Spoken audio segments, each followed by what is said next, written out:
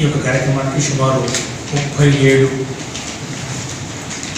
Universities కానివచ్చు లేకపోతే central university జరిగిందని చెప్పి కూడా జరుగుతుందని చెప్పి కూడా తెలియజేస్తూ మరి రాబోయే రోజుల్లో ఖచ్చితంగా ఈ యొక్క ప్లానింగ్ బోర్డు ద్వారా మరి తరచుగా సమావేశాలు నిర్వహించడం జరుగుతుంది. అంటే కనీసం సంవత్సరానికి రెండు పర్యాలు కనీసం అంటే కనీసం అంటే ఆరు నెలలకు ఒకసారి ఈ సమావేశాలు ప్రతి ఒక్క ఇన్స్టిట్యూట్లో మరి మార్చి మార్చి మరి వన్ అట్ టైం ఇప్పుడు మొట్టమొదటి యొక్క సమావేశం ఐఐటి తిరుపతిలో జరిగింది. తర్వాత మళ్ళీ ఇంకొక ఇన్స్టిట్యూట్ మరి అట్లాగే స్టేట్ ఇన్స్టిట్యూట్స్లో ఈ విధంగా మరి నిర్వహించుకోవడం ద్వారా నాలెడ్జ్ ఎక్స్చేంజ్ టెక్నాలజీ ఎక్స్చేంజ్ విద్యా సంస్థలు కానివ్వండి చట్టాలు కానివ్వండి ప్రత్యేక ఉత్తర్వులు కానివ్వండి ఏమైనా చూసుకోవచ్చు.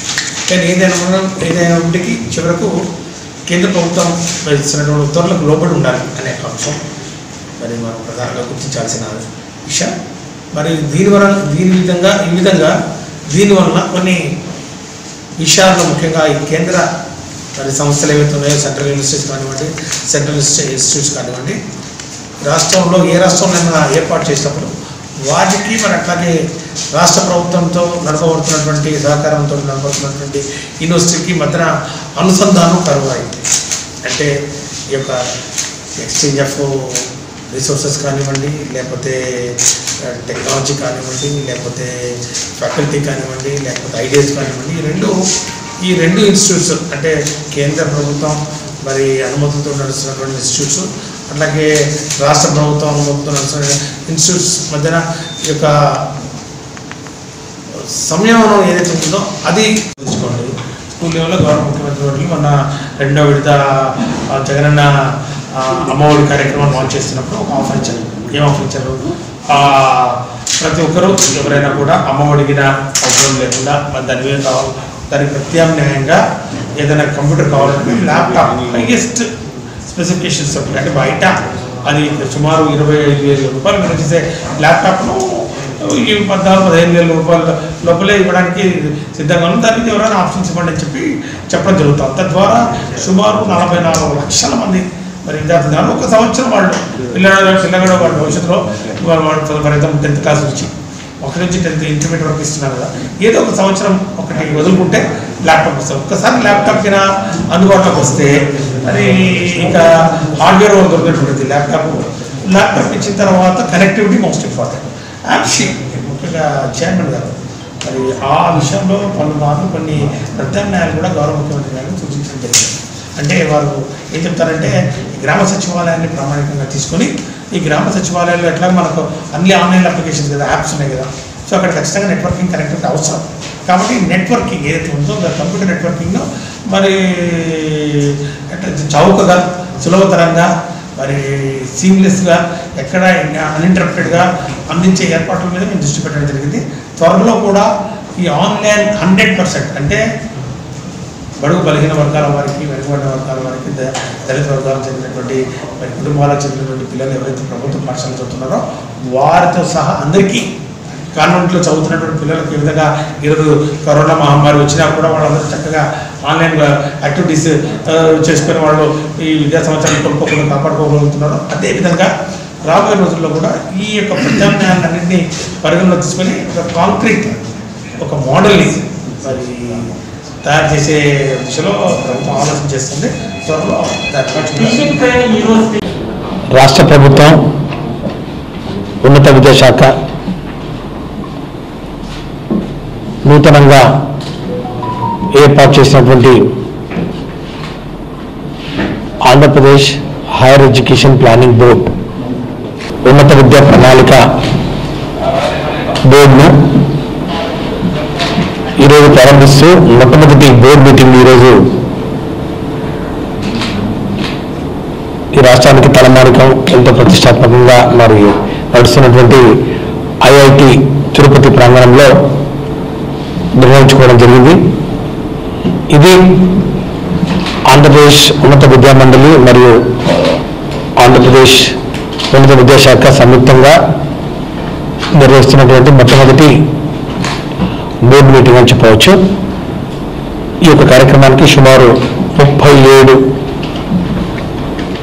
యూనివర్సిటీస్ కానివచ్చు లేకపోతే సెంట్రల్ యూనివర్సిటీస్ స్టేట్ యూనివర్సిటీస్ అట్లాగే కేంద్ర విజ్ఞాన సంస్థలు ఏవైతే ఉన్నాయో ఐఐటీలు ఐఐటి ఐఐఎస్ఆర్లు తర్వాత ఐఐటి సిసిటి తర్వాత ఈ director of NIT school of planning and architecture Vijayawada IIT away petroleum energy వీటితో పాటు central university tribal university central tribal university central university Indian maritime university IISER వీటితో పాటు ఈ రాష్ట్ర ప్రభుత్వ యూనివర్సిటీస్ అట్లాగే కొంతమంది ప్రత్యేక ఆహ్వానితులుగా NTR health university Venkateswara veterinary university Vedic university horticulture university Acharya NG Ranga agriculture university ఇలా అన్ని యూనివర్సిటీస్ నుంచి వైస్ ఛాన్సలర్స్ కానివ్వండి డైరెక్టర్స్ కానివ్వండి వారికి సంబంధించినటువంటి మరి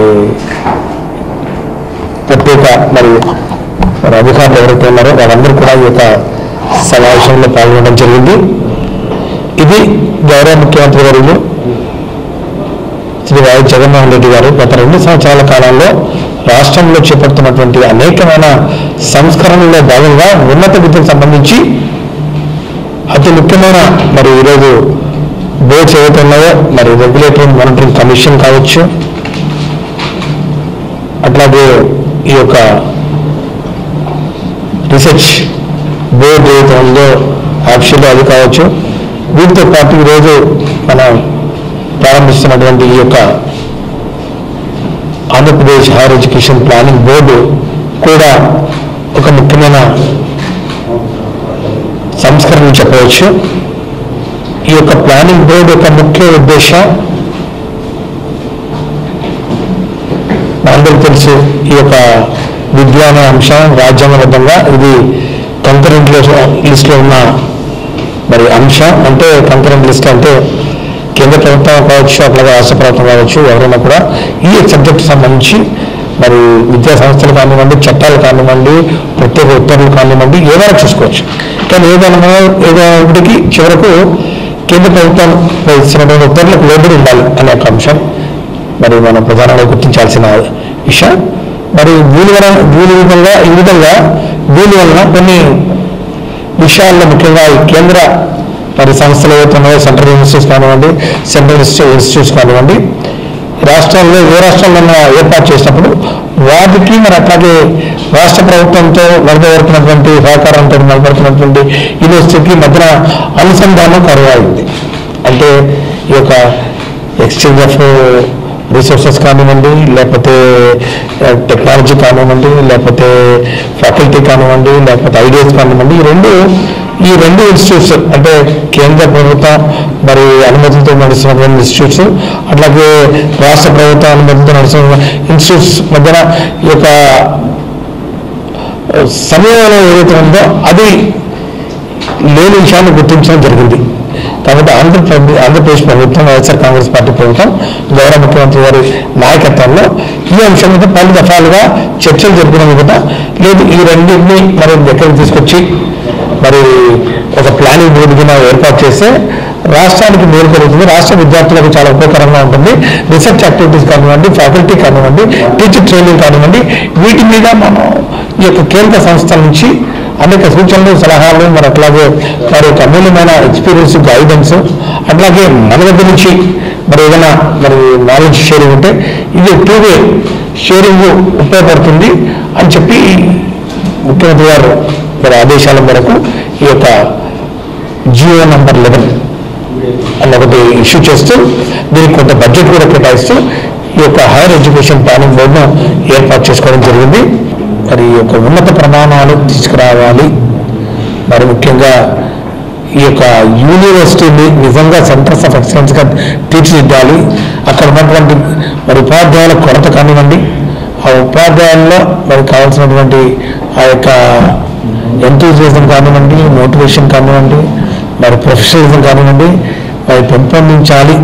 ఏ విధంగా దాన్ని ముందుకు తీసుకోవాలనేది అన్నీ ఈరోజు జరగబోయే ఈ యొక్క ప్లానింగ్ బోర్డులోని అందరు వైస్ ఛాన్సలర్స్ నుంచి వచ్చే సూచనలు సలహాలు చాలా వరకు మరి రాబోయే రోజుల్లో తీసుకుపోయే నిర్ణయాల్ని ప్రభావితం చేస్తానడంలో ఏమాత్రం అతిశక్తి లేదని చెప్పి భావిస్తూ మరి ఈరోజు యొక్క కార్యక్రమాన్ని మొదటి మరి మీటింగ్ కూడా పెద్ద ఎత్తున మరి ఈరోజు అన్ని యూనివర్సిటీ నుంచి వైస్ ఛాన్సలర్స్ వచ్చి దీన్ని విజయవంతం విజయవంతం చేసినందుకు వారందరికీ కూడా ధన్యవాదాలు తెలియజేసుకుంటూ సెలవు.